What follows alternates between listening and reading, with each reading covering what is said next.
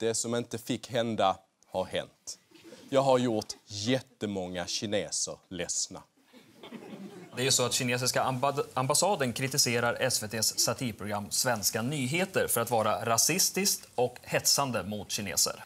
Och det som är anmärkningsvärt är ju att de verkar inte uppåt på kommunistpartiet utan på vanliga hyggliga kineser som framställs som någon form av primitiva människor med rishattar. Ja, efter förra veckans program så är jag nu den mest avskydde svensken i Kina. Kanske har jag till och med gått om Gio Waldner som Kinas mest kände svensk. Han kallas ju för det evigt gröna trädet. Jag kallas den evigt rasistiska grisen. Vi har fått tiotusentals reaktioner. Och med reaktioner menar jag bilder på mig där jag äter bajs. Det är jag med tusen bajskorvar. Eh, vi la upp lite för det själva förra veckan. Men vi har också fått eh, saker som “You are a gay” eller “Du är en oförskämd spermadonator”. Här är en där jag äter bajs igen, fast som bebis.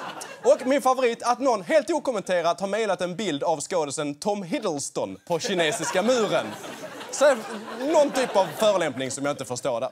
Men det värsta jag blivit utsatt för är att hela veckan så har jag haft den här låten på huvudet.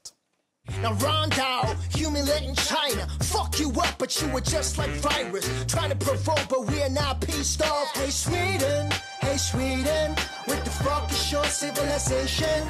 Hey Sweden, hey Sweden, what's wrong det här är alltså den kinesiske rapparen Pissy. Eh, och det är inget kissskämt, utan han heter det. Det är inget konstigt. Och det är alltså jag som kallas för Ron Dahl, vilket är ett coolt namn. Han är ju duktig på coola namn, Pissy.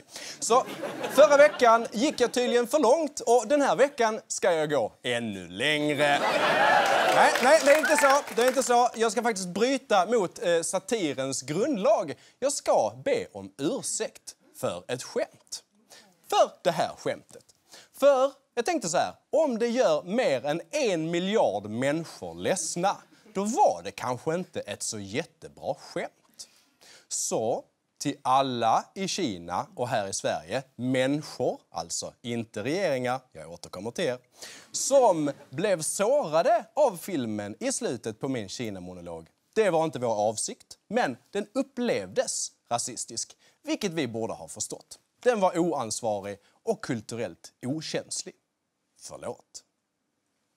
Men det här är inte ett förlåt till den kinesiska regimen som inte värdesätter konceptet yttrandefrihet. Men som ni säkert förstår så är det ju inte vi på Svenska nyheter som har orsakat anspänningen med Kina från början. De är såklart inte arga för ett skämt. Alltså, Kina har under ett bra tag trappat upp sin retorik mot Sverige. Och enligt svenska totalförsvarets forskningsinstitut så är Sverige utsatt för ett test för att se hur svenska myndigheter reagerar.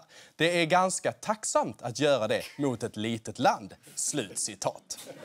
Sverige är alltså i ekonomisk beroendeställning gentemot Kina och är en lämplig testplats för hur mycket Kina kan påverka ett annat land.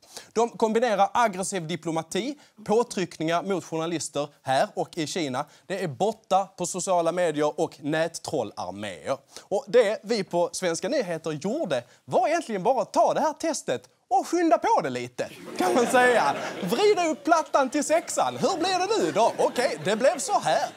Och Kinas ambassad irriterades såklart också av att vi tog upp Gui Minhai, den svensk-kinesiske förläggaren och författaren som kidnappades i Thailand och nu sitter fängslad i Kina av egen fri vilja, enligt kinesiska staten. Vi ska titta på hans erkännande som spelades in av kinesiska myndigheter inuti ett kinesiskt fängelse. 回国自首是我个人自愿的一种选择， 和任何人没有关系。我也不希望任何个人和机构，包括瑞典方面介入或者干涉我回国的事情。Det är faktiskt hemskt på riktigt att Kina fängslar människor för deras åsikter. Och kinesiska staten har faktiskt uttryckligen varnat Sverige för att det kommer att få konsekvenser om Sverige fortsätter ta upp fallet om den svenske medborgaren Gui Minhai. Ambassaden kräver också en ursäkt för att vi på Svenska nyheter på vår karta över Kina inte inkluderade alla områden som Kina gör anspråk på. Så för säkerhets skull så kommer vi den här veckan visa den här kartan. Och visst, vi fattar att de blev sura över att vi inte hade med Taiwan. Men då vill vi samtidigt ta upp att den här bilden eh, som jag fick där Sverige är en bajskorv, där är inte Öland och Gotland med. Se det här som en protest. Kanske inte en formell diplomatisk protest, men ändå. Och det var ju som sagt inte bara kinesiska staten som blev arga på oss för det här med kartan. Det blev även Pissy. The map of China in television shows just Tibet and Taiwan belong to China, bitch. Onödigt. Onödigt med det sista ordet där. Men då börjar man undra, varför låter Pissy som att han rappar kinesiska statens pressmeddelanden? Jo, då visar det sig att han är på riktigt anställd av kinesiska staten. Hans crew, CD Rev, eller Chengdu Revolution, är på riktigt ett statsfinansierat rapboyband som gör kommunistnationalistisk hiphop.